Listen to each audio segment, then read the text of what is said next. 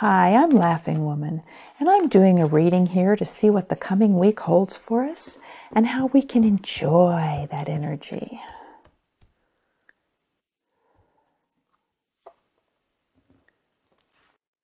The first card is Ten of Fire, Autonomy.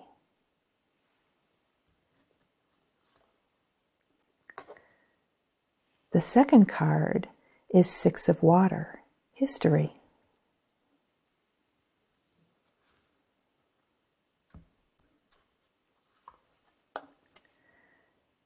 The third card is Major 12, Perspective.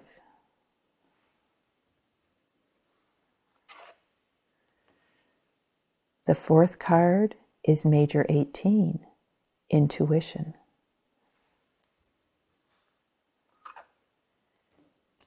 And the fifth card is Major 21, Wholeness.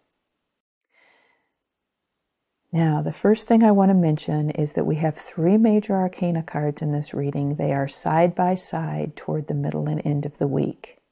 What this tells me is that as you get into the end of the week this week, this is huge. This is a very important week. It's going to make a difference in your life from here forward. The other thing I'm seeing here is that this is a week filled with healing. So turn your attention to your own healing this week. Even if you're helping other people, your focus is really on clearing yourself. So we're beginning this week with autonomy. This tells me that this is a solitary journey this week. This is not something where you're going to somebody else for assistance. It's not something where you're walking through a process with somebody else.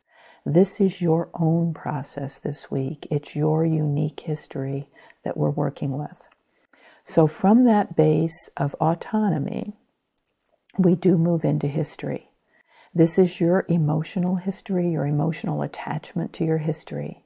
And there's something there that's ready to be seen in a different way and brought into wholeness. Give yourself permission to be aware of what that is.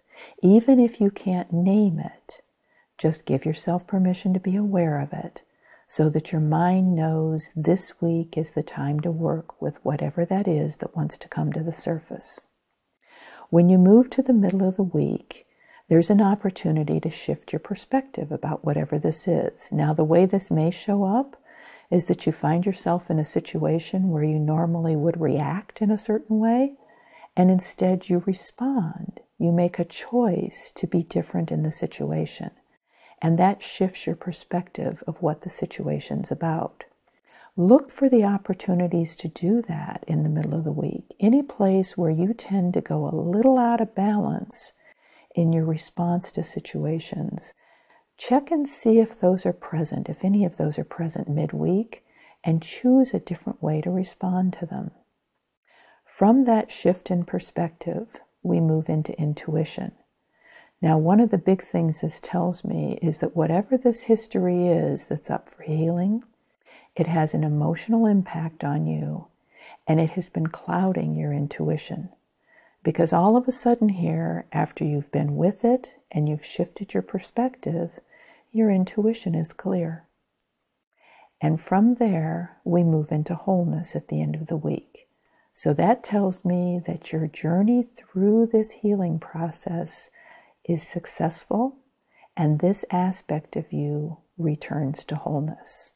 What a wonderful gift through the week. So, in summary, you're taking a solitary journey this week into something in your history that has an emotional impact on you. And you're gaining a new perspective on that, a new way of relating to it. That clarifies your intuition, gives you access to more of your own wisdom, and you end the week with this part of your being regaining its wholeness. Have a beautiful, blessed week.